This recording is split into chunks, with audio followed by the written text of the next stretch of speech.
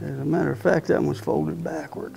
Making Moravian stars can be complicated. People are interested in how to make them and they don't understand till they make one what is involved because each point has to be cut, scored, folded, glued, and then you start the assembly process. But Ken Manuel makes it look easy. So hold on a second. So it goes like that. Yeah, just make six pairs first. Like that. Yeah, some people call it tedious. I enjoy it and have made many, many stars. I usually make between them maybe a thousand, fifteen hundred a year, somewhere in that range. And he knows a lot about them too. The Moravian stars originated in Germany, in uh, Niesky, a boys' school there. Their Easter assignment was to design and make a polyhedron, which now we know as Moravian stars. The Moravians were persecuted in Moravia and came through Niesky and saw the star and were so taken with it as they took it with them as one of their symbols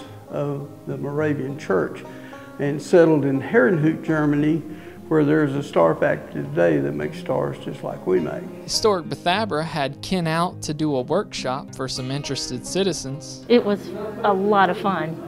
It was, it was a tremendous amount of fun. It's a great thing to do at Christmas, um, to get into the Christmas spirit and, and uh, add some variety to, uh, to how you celebrate the holidays. And they gained a new appreciation for Ken's craft. It was a complex process, so it was a little harder than I expected, but the instructor was fantastic, gave step-by-step instructions, so it, uh, it came together really well. To find out more about Historic Bethabara, come out and visit us or visit our website, historicbethabara.org.